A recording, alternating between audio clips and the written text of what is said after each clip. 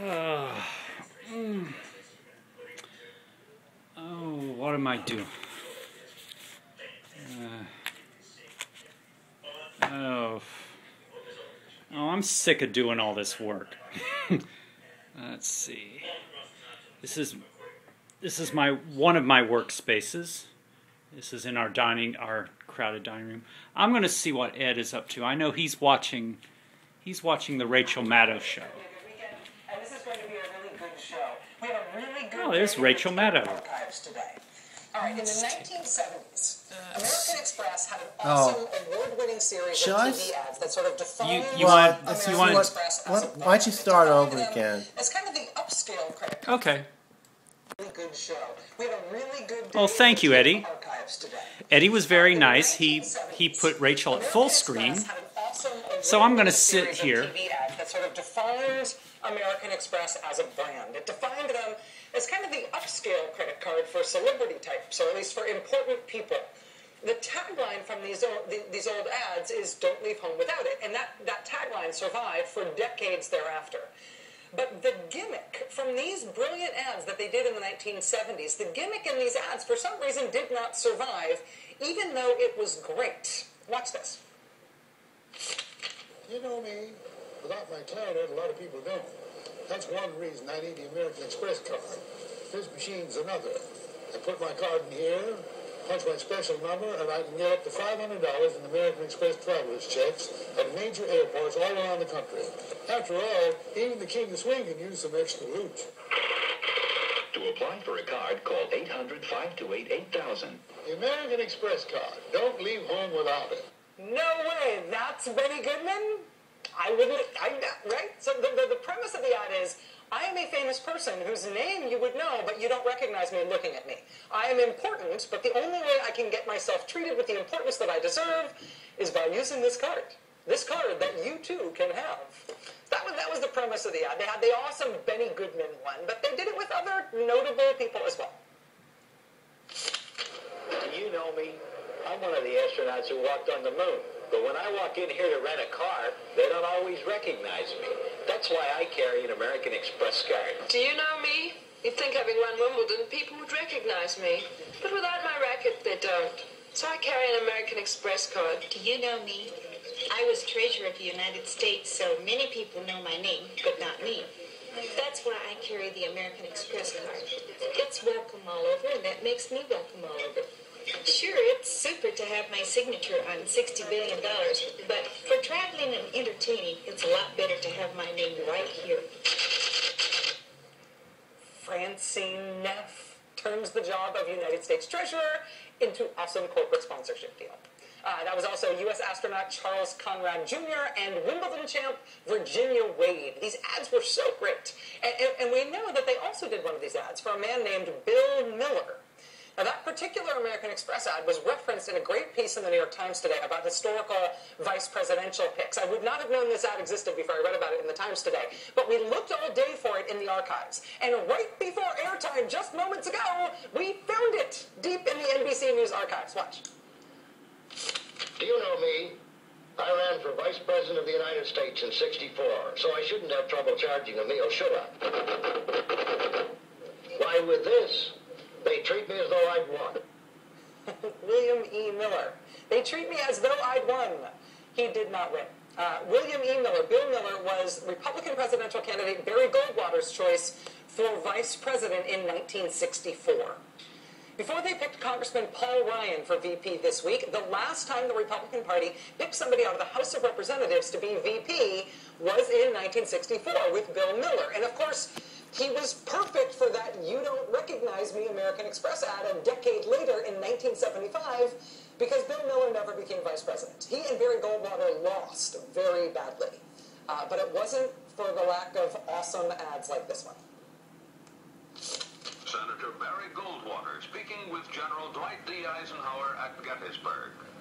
We keep getting back to the subject of war and peace. And in this campaign that uh, Congressman Bill Miller and I are engaged in for the presidency and the vice presidency, because we constantly stress the need uh, for a strong America, uh, our opponents are referring to us as warmongers. And I'd like to, to know what your opinion of that would be. You've known me a long time, and you've known Congressman Miller a long time. Well, Billy, in my mind, this is actual Tommy rot. Campaign ads were different then. Despite the awesomeness of having Ike on their side, calling their critics Tommy Rot, Barry Goldwater and Bill Miller, the last Republican ticket to have somebody from the House of Representatives as VP, Barry Goldwater and Bill Miller just got clobbered. I don't think it was because of the choice of Bill Miller for VP. I, I think it was more because of this. I asked to speak to you because I'm mad. I've known Barry Goldwater for a long time. When I hear people say he's impulsive and such nonsense, I boil over. Ronald Reagan telling America that he's mad. He's boiled over with rage over allegations that Gary Barry Goldwater might not have the appropriate emotional temperament to be president. I'm mad. Don't say he's mad. Probably didn't help. Uh, because that is what the American people thought about Barry Goldwater, that he was a little uh, the Goldwater-Miller loss in 1964 was the worst Republican presidential loss in the modern era of American politics. Okay. And I am defining modern loosely. The parallels between Barry Goldwater picking Bill Miller and Mitt Romney picking Paul Ryan are kind of stunning. I mean, he is the same kind of pick with the same kind of rationale. Republicans put Bill Miller on that ticket in 1964 because he was essentially seen as being super Republican. They didn't think they'd be able to get New York State with him, where he was from, but they liked his partisanship. In the House, he had never really passed anything uh, of significance, neither has Paul Ryan, but he had a leadership role in the Republican Party. Mr. Miller had in fact been Republican Party chairman. He was seen as being a rather aggressive partisan. He was very popular among Republican Party activists. He was seen as a hardcore guy, even if he wasn't more widely known throughout the country. They thought that he was such a partisan Republican hero that he could really energize their side, and it would drive the Democrats nuts. Specifically, they thought that Bill Miller would drive the Democratic president they were running against, LBJ. They thought it would drive him nuts. They put that on the record. This is the front page of the Milwaukee Sentinel in October 1964. The last time Republicans picked somebody from the House to be vice president, it was for the same reasons. It was the exact same kind of pick as Mitt Romney and the Republicans picking Paul Ryan now. And it is early days yet. Um, but right now, at least, it's looking like the same kind of results. I mean, obviously, it's too early to say, but we are one week in. And I don't think it's unfair to say that this has been one of the all-time least successful roll, rolls out of a, a vice presidential selection in modern history. I mean, maybe things will get better, but the first week has been bad. It started with the announcement itself, which became public knowledge at around 12:01 a.m. on a Friday night slash Saturday morning. That was then followed up by an early Saturday morning event. The Romney campaign made a big deal about how the announcement of the vice presidential choice was going to be carefully timed to reward their greatest supporters. The only people who were going to know who the pick was were the people who had downloaded the Mitt Romney cell phone app. They were going to learn it, learn it first.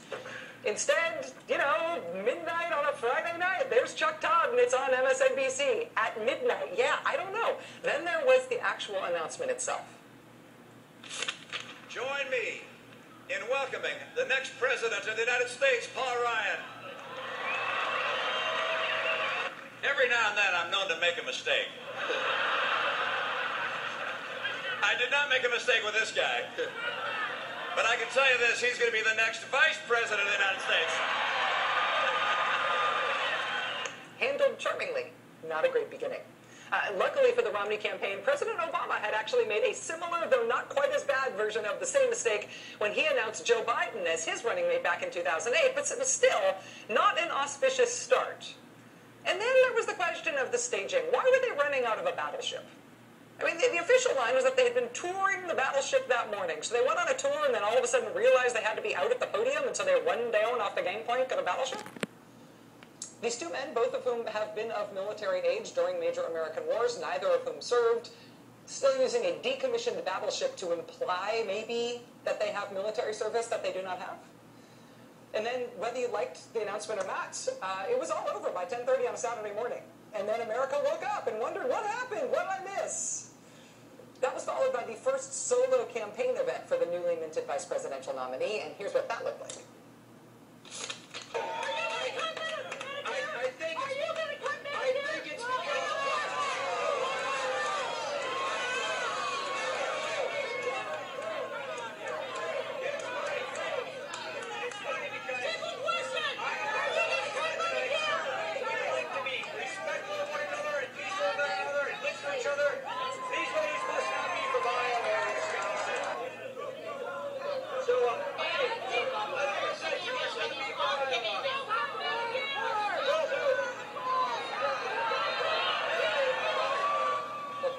There's she must not be from Iowa, she must not be from Iowa. It turns out that the, the woman who was yelling at him actually was from Iowa. Uh, despite what Paul Ryan was saying about it, she later wrote about it on the Huffington Post. Uh, what she was screaming at him about, what the hecklers who were dragged out of his first event were screaming about, was Paul Ryan's plan to kill Medicare. Uh, Paul Ryan's plan to kill Medicare also dominating all of these local headlines in Florida newspapers. That was uh, the initial swing state response to who Mitt Romney picked as his running mate. If the Romney folks could have seen anything coming about picking Paul Ryan, they should have seen the having the answer for the Medicare thing coming. Uh, the Romney campaign apparently did not plan for that. They did not come up with what they were going to say about Paul Ryan's Kill Medicare plan. When Mr. Romney was asked about the Paul Ryan plan, right after he made the announcement that same weekend on Sunday, he said essentially, forget about the Paul Ryan plan. My plan is different from his, and that's the one we're going to run on. And the hmm. next day, he said, my plan for Medicare is very similar to his plan. The day after that, one of his surrogates went on television and said, oh. actually, the plans are very oh. different. Then the day after that, Mr. Romney told reporters that the plans are, quote, probably close together. Okay, Eddie. I got tired. I, this is still running. I'm going to put you on camera and say thank you. You're welcome. oh, that was very kind. Oh, I think I'm going to lay down for a while. Rachel, I love that segment Rachel did, but now she's getting she's kind of getting into the weeds of politics, so I'm going to end this.